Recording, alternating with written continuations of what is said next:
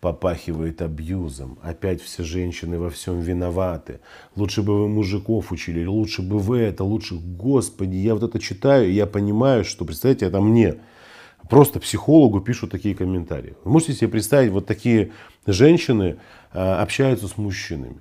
И они от них потом бегут. Есть женщины, от которых нужно бежать, от них нужно сматываться на любом общественном транспорте, либо на личном. Да хоть на дельтаплане с девятого этажа прыгнуть куда угодно, но чтобы только рядом с ней не быть. Потому что я часто говорю про то, что есть мужчины, категории мужчин, с которыми нельзя строить отношения. Ни в коем случае.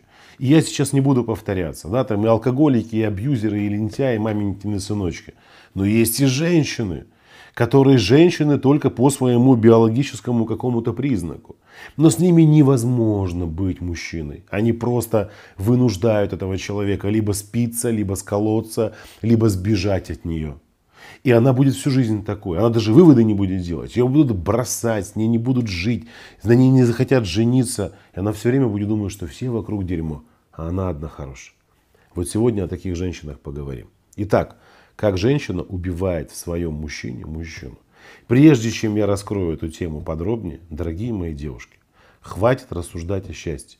Хватит думать о том, что оно постучится к вам в дверь случайным образом и скажет, здравствуйте, я ваша зрелая сексуальность, примите меня. Ой, здравствуйте, я счет банковский. Ой, я здоровая самооценка к вам сама пришла.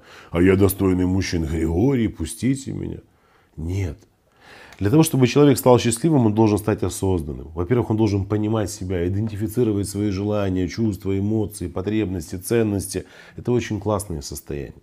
И, к большому сожалению, многие девушки понятия не имеют, что это. И я вас в этом не обвиняю. Я понимаю, там э, воспитательный процесс, родительская педагогика, процессы научения, генетика, все может быть. Но мы живем в 21 веке, где источники информации дают возможность любому заинтересованному человеку получить ее в максимальной, э, максимальном объеме. Пройдите мою программу «Я такая одна, удобная или уникальная». Это бесплатный диагностический курс. За 6 дней вы поймете, кто вы, куда идти, что с вашей самооценкой, сексуальностью, какие у вас блоки, установки, паттерны, почему у вас э, проявлено, э, почему у вас проявлены финансовые блоки, и многие-многие другие вопросы. Все это я раскрываю за 6 дней. Никуда ходить не нужно. Включили телефон, компьютер, ноутбук, сам себе MacBook, и не знаю, планшет какой-то. Все. Пожалуйста, смотрим. 6 дней. И ваша жизнь разворачивается на 180 градусов. У вас появляется выбор и понимание, как вам быть. Под этим видео есть ссылочка на регистрацию. Переходите сразу после просмотра и регистрируйтесь. Итак, женщина встречает, хочет встретить мужчину. Я часто задаю девушкам вопрос, какого мужчину вы хотите встретить? И вот она сидит, вся такая, поправилась здесь все и начинает рассуждать. Я хочу, чтобы он был сильный, ну, нормальное желание, мужественный, ответственный, смелый, чтобы я чувствовала себя за ним как за каменной спиной, чтобы у него были, чтобы он зарабатывать мог. Пусть там не миллионер, но чтобы мог зарабатывать. Вот. Чтобы любил детей, обязательно, чтобы с чувством юмора. Я так поржать люблю. А вот, и чтобы он еще был романтичный. Я так люблю романтику, что красивые свечи, эти розы везде лежат, лепестки. Главное, чтобы не шипы. И вот она начинает перечислять качества, которые в принципе многим мужчинам не присущи. Вот это вот весь этот набор Лего, он как бы не встраивается в мужчину. Там может быть что-то выборочно, но все, что перечислено, вряд ли в одном мужчине может уместиться. Вот она его встречает, смотрит со стороны. Человек действительно потрясающий. А, возможно, симпатичен, красив, там, брутален. Не знаю, как в мужчине оценивать его привлекательность. Я считаю, что это как бы вообще вторично для мужчины, его внешние данные. Но, ну, допустим, вот она встретила такого, как хотела. Такой статный, весь из себя. Деньги зарабатывает, честный, порядочный, ответственный, сильный, в восторге. Что происходит в этот момент? Если женщина вошла в отношения с этим вот таким мужчиной, которого она себе нарисовала, она его и встретила, если она в отношения с ним вошла в незрелой позиции, в незрелом состоянии, то есть там у нее детские травмы, у нее, возможно, какие-то установки ролевые, паттерны негативного мышления. У нее масса там э, проблематики, с которой нужно пойти в кабинет к психотерапевту и там поработать. Нет. Она с этой массой проблем вошла с ним в отношения. в ней начинает пробуждаться ревность, она начинает воспринимать конкуренцию, да, то есть она считает, что ее мужчина может быть интересен другим женщинам, что они на такую прелесть и красоту могут заглядеться, а бабы они коварные, думает она, еще уведут у меня из-под носа.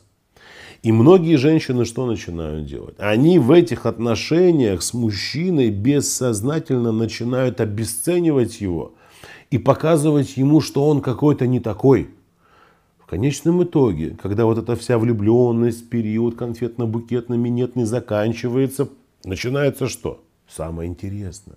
Оказывается, он бессовестный, он причина ее несчастливой жизни, он хреновый муж, он хреновый добытчик, он хреновый хозяин, он хреновый папа, он вообще во всем хреновый.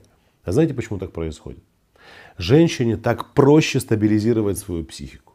Это очень глубоко, с одной стороны, если уходить прямо в психотерапию психоанализ. С другой стороны, это очень просто. То есть бессознательно такая женщина живет страхами, что ее мужчина может быть привлекателен для других женщин. И также бессознательно она начинает обесценивать его, прям прилепляя к нему кучу разных недостатков, какой он козел вонючий, с ним ужасно плохо. Безусловно, когда она сформировала в своих глазах вот это вот чучело, а, в ее представлении, может быть абсолютно нормальный, прекрасный мужчина. Вот она это чучело сформировала и бессознательно верит в то, что те недостатки, которые она у него выявила и в которых она его обвиняет, замечают и другие женщины. Вот в таком случае ее психика успокаивается. Я, как одно из подтверждений, могу сказать следующее – как показывают многочисленные психотерапевтические исследования и наблюдения, женщины чаще всего, встречаясь друг с другом, говорят о недостатках своих мужчин. О том, что там у них в семье происходит, какие конфликты. И да, есть женщины, которые говорят хорошо о своем мужчине. Но большая часть общаясь друг с другом, обязательно расскажут, ой, блин, как он меня задолбал, он такой, он секой, и этакий, и такой. Для чего?